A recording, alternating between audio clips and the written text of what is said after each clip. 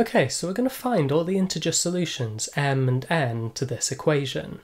And our approach is going to involve modular arithmetic. So the key idea is that we're going to consider the equation modulo a certain number, where this is chosen so that it will give us some insight into the problem. It can tell us which values of m and n we can definitely rule out and which values of m and n are going to be worth checking. So looking at the equation, it might be worth thinking about this modulo 11 to begin with, because then the right hand side would just be equivalent to 0 mod 11, and then we're looking for a power of 6 and a power of 5, which are equivalent to each other modulo 11. So we'll talk a bit at the end about this process of how to choose this number so that we take everything modulo this number in a way that it's going to help us to solve the equation. But for our solution, we're actually going to consider things modulo 24. So if we just think about the equation modulo 24, we'll first of all look at what happens with powers of 6 modulo 24. So 6 to the power of 0 is just 1, so this is equivalent to 1 modulo 24. 6 to the 1 is just 6. Then 6 squared is 36, which is equivalent to 12 modulo 24. Then when we get up to 6 cubed, this is 216, which is actually a multiple of 24. So we get 0. And then thinking about this, we could multiply the 0 by the next 6 and so on. We would just get 0. Or you can think of this, of all of your multiples of 6 beyond 6 cubed are going to be multiples of 24. So all of these are going to be equivalent to 0 modulo 24 beyond a certain point. So you can see how this could be quite useful now. So let's compare this with our powers of 5. So 5 to the 0 is just 1 modulo 24. 5 to the 1 is just 5. And then when we get to 5 squared, this is 25. So this is equivalent to 1 modulo 24, which is where this gets very interesting because now if we multiply by another 5, we would just get 5 modulo 24, or you can check 5 cubed 125 is equivalent to 5 mod 24. Then we get this repeating pattern of 1, 5, 1, 5, so 5 to the 4 is equivalent to 1, 5 to the 5 is equivalent to 5, and so on. So then, thinking about our equation, we've got 6 to the m minus 5 to the n is equal to 11. So rearranging this, we actually want 6 to the m equal to 5 to the n plus 11. So we could actually add 11 to all of our powers of 5 here. So then we get 5 to the n plus 11. This is just going to alternate between being 1 plus 11 and 5 plus 11. So this will go 12, 16, 12, 16, 12, 16, and so on. Whereas 6 to the power of m, this is going to be 1, 6, 12, then everything from there on is equivalent to 0 modulo 24. So now for our values of m and n to satisfy our equation, it certainly needs to hold modulo 24. So we actually need 5 to the n plus 11, and we also need our 6 to the m to be equivalent to each other mod 24. And just looking at this list, we've got 12s and 16s. The only possibility is when 6 to the m is equivalent to 12 mod 24. So this is the case where we have 6 squared was 36, which is 12 mod 24. So the only possibility, you can just check then, 6 squared minus 5 squared does give us a valid solution. This is equal to 11. So we can say that m equals 2 and n equals 2 as well is the only solution then to this equation. And we can rule out negative integers as well quite easily. So for example, if you had a negative power of 6, then 6 to a negative power minus 5 to any power, this is going to be much smaller than 11, so the equation would never hold.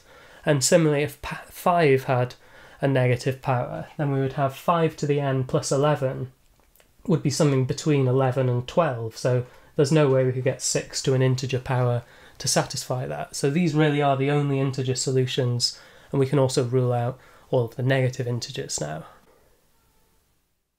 And now let's explore this choice of 24. So how did we choose 24 and how did we know that this could help us to rule out further solutions to the equation if we were to take it modulo 24? So in general we're going to be looking at, for an equation like this, if we take it modulo k, how do we choose a value of k so that we can rule out further solutions to the equation?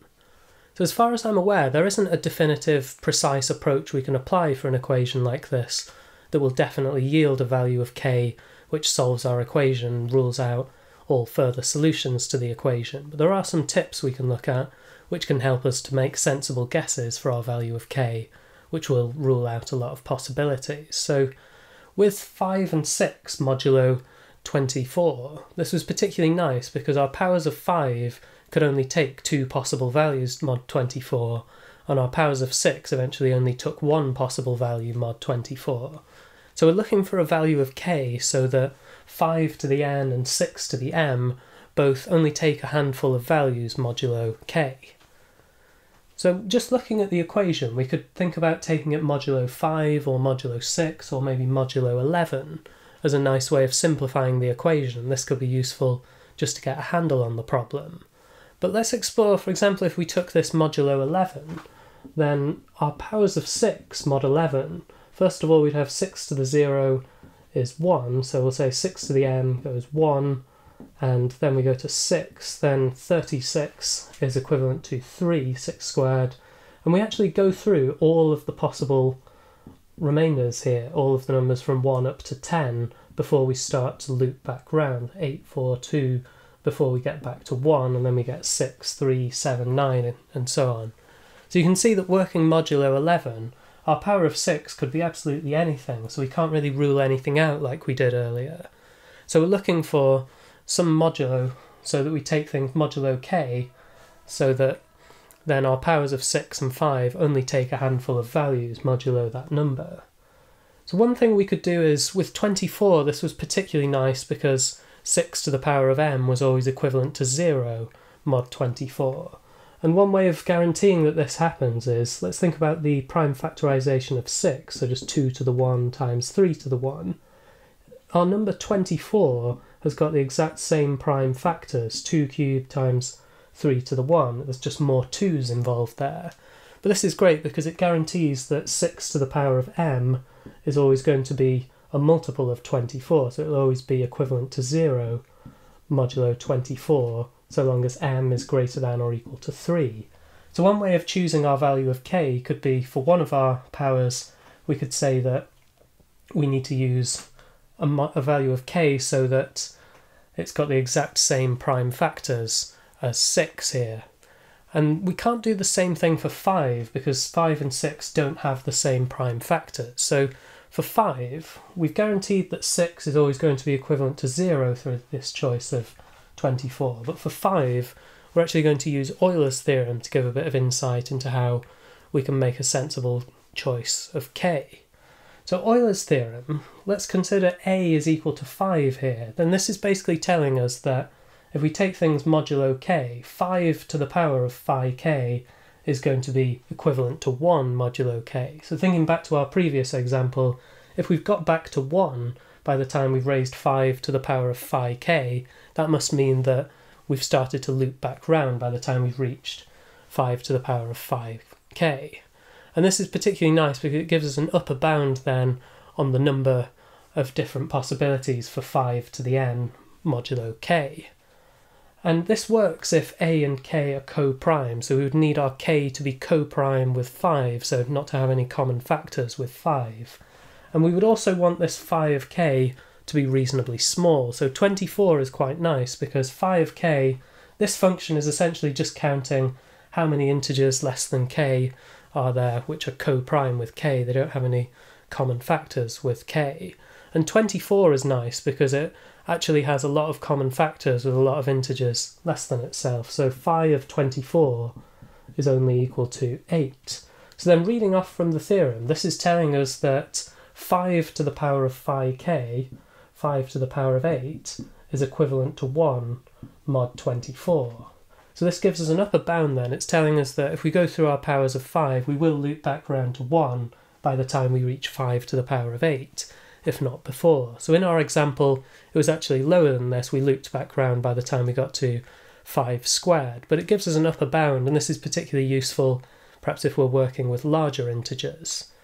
So then using Euler's theorem, we've just taken our value of k, our 24, is 1 so that it's co-prime with 5, and also so that phi of k is quite small. So this is quite a useful trick we can apply to guarantee that we only get a handful of possibilities for 5 to the power of n modulo k. So just to recap then, we could consider, for example, modulo 5, modulo 6, modulo 11 to actually eliminate a term.